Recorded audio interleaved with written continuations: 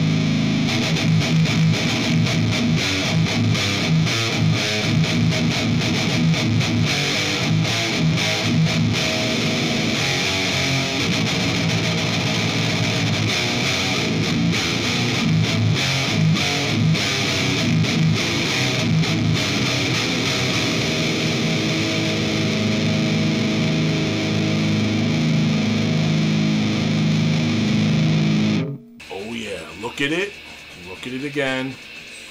Yeah, you know you want it. Anyways, that's it for the uh, this heavy earth uh, bad trip.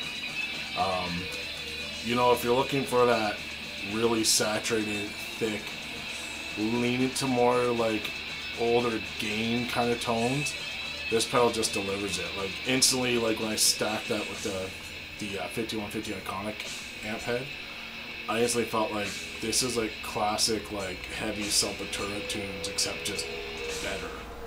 So yeah, definitely recommend it. Go to thisheavyearth.com and uh, go pick yourself up. All right, and uh, until next time, take care.